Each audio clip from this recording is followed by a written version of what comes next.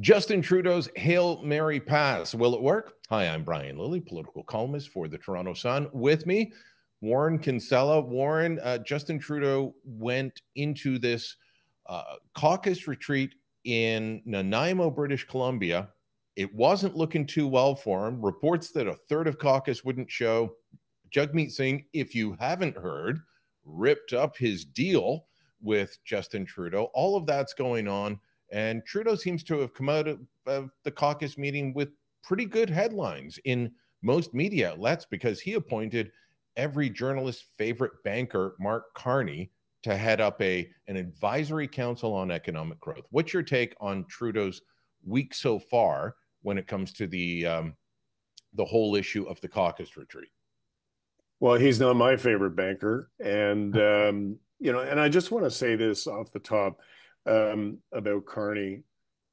You know, Justin Trudeau has told us for years that he is a feminist, right?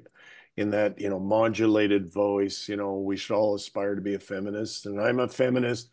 well, the feminist this week completely emasculated Chrystia Freeland, who is a woman and who is the Minister of Finance.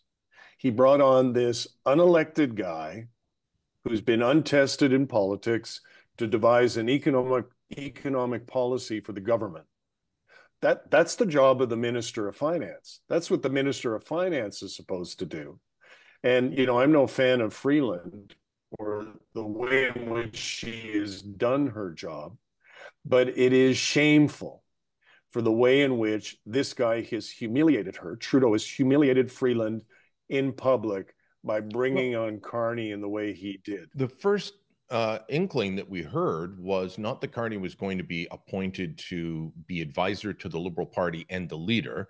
And we can talk about some of the ethics around that in a moment. But first uh, rumor was no, he's going into the finance department to work with her. I mean, that would have been even worse. Maybe they changed their mind after the rumors were reported on, uh, because that would completely undermine her. It's this still does, but putting her uh, putting him in finance would be even worse. Would also be a bit of a demotion for him since Paul Martin appointed him as senior deputy associate minister 20 years ago.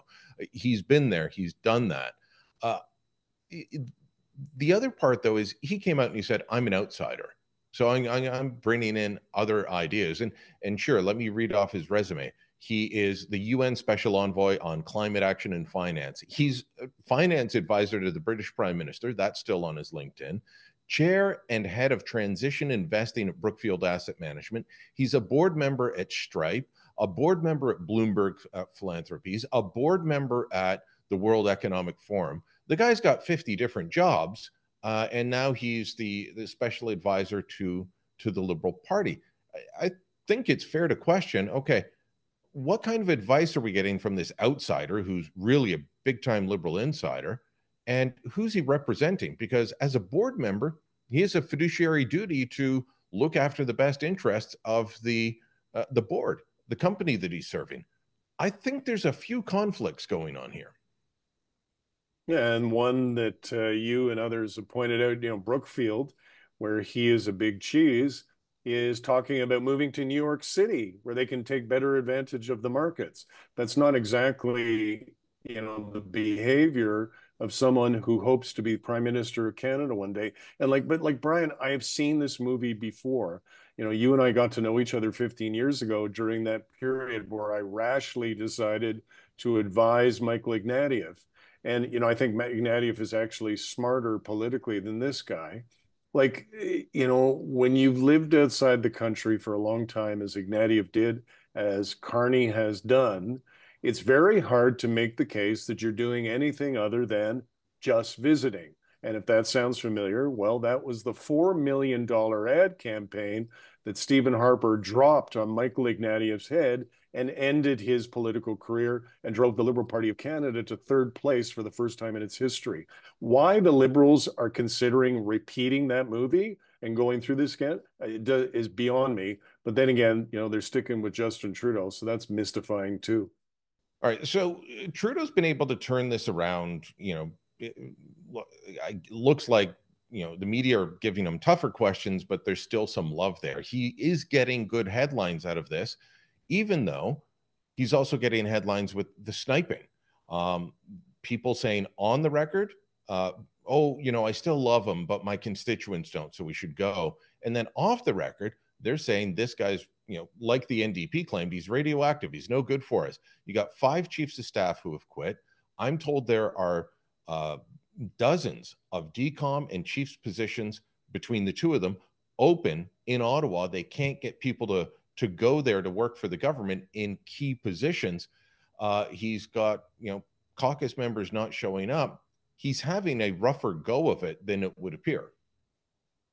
Yeah, and as um, you know, it's the Titanic. Who would jump on the deck of the Titanic? Or as my former boss Chrétien would say, the Titanic. like, you know, you've got like I have never seen this happen before. They're having a retreat, a caucus retreat out in BC, which they should, paying attention to Western Canada, and a third of caucus does not show up. Among those who do, a senior Quebec MP gets out there, stands in front of a microphone, and says, Everybody hates him. I kind of like him, but everybody hates him. And like it, it is a disaster. And then the polling is not good either. Jagmeet Singh, a week ago, as we talked about on this broadcast, uh, said he was going to tear up, tear up, tear up, he rip up, rip up the agreement with Justin Trudeau. Well, he did that. And the polling that's happened seems to suggest he's benefited from that because he's well, right it, in the Liberals' rear view mirror. Le- Leger, um, th- they did a poll immediately after this, or a couple yep. days after. They did it over the weekend just released. It has uh, Leger has the Conservatives at 45% now, the Liberals at 25, but Singh at, at, at 15. And Leger's uh, never done that before. Leger's not never gotten to 20 points as far as I know. And they are the I, most accurate federal pollster.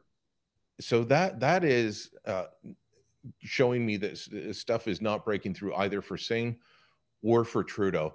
Uh, give them some wise advice as we wrap this up what should either one of them do to actually move the needle? Not that I want them to win, but if if you're advising them as a, a longtime uh, uh, seasoned veteran of campaigns, what do they do? Easy. You hand Mr. Trudeau a piece of paper and say, I, Justin Trudeau, resign the leadership of the Liberal Party of Canada, and I will no longer be Prime Minister. That is it. That's all they've got you know, I think, as I've told you, he was holding on to see if Trump would win again.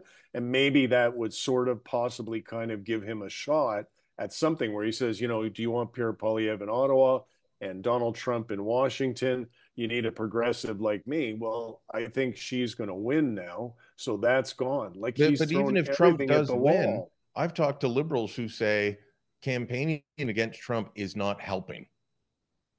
Yeah, and and I'm not saying it's the right strategy. I'm saying he had decided that was the strategy. Yeah. I think that's what he's been holding on to.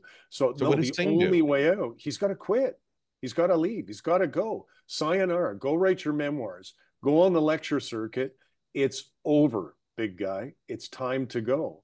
And, and you know, and for Jagmeet, and for I think he's done what he had to do. He had to step back from the Trudeau blast radius Leger is saying that he's benefited from that, but I don't think he's going to vote down the government because he's not out of the burning house yet himself. He needs to get his numbers up before he's in a position to face an election. So he needs time, but Trudeau needs to go.